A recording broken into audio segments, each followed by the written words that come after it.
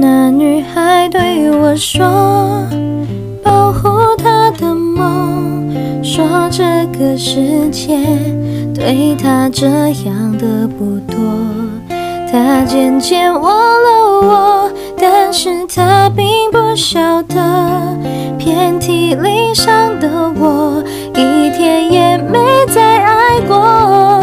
那女孩对我说：“说